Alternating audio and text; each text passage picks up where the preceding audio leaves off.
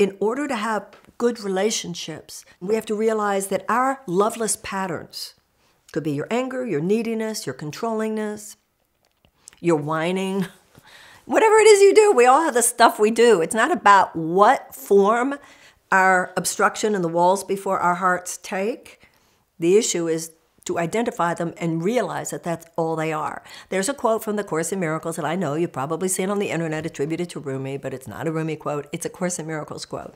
And that is Your job is not to seek for love, your job is to seek all the barriers you hold against its coming. You are already perfect love. The issue is that we've built up these walls in front of it. And the walls take the form of these character defects or these mental and emotional habit patterns that lead to behavior that keep love at bay, which is just another way of saying make people don't like you, make people not want to be with you, not want to hire you, not want to work for you, not want to marry you, not want to love you, not want to be your friend. I mean, it's like a big deal. That's all that relationships are about.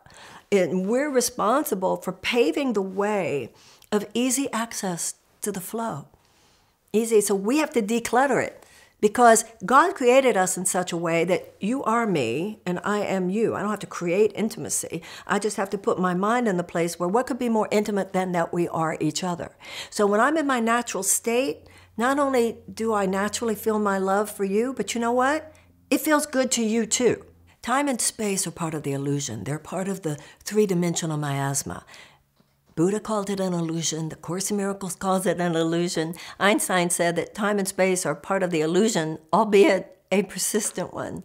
So, once again, we're in this world, but the truth, the ultimate truth of who we are, lies beyond this world. This world is like a veil in front of the world we want. One of the exercises in the Course is Beyond this world, there is a world I want. And that does go back to what is actually a quote from Rumi, where he says, Beyond all ideas of good and bad and right and wrong, there is a field. I'll meet you there.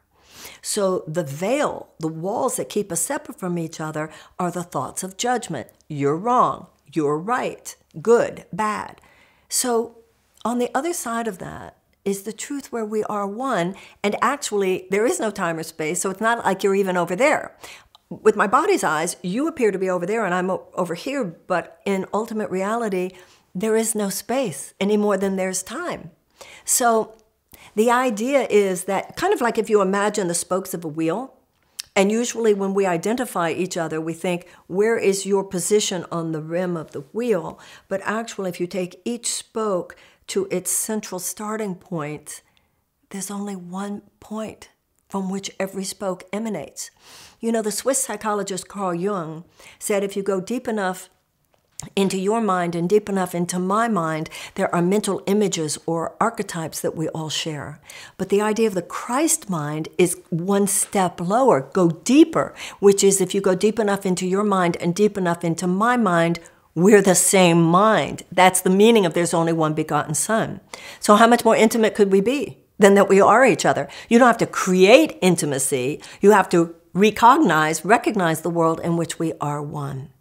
Once again, not your job to seek for love, but to seek all the barriers you hold against its coming.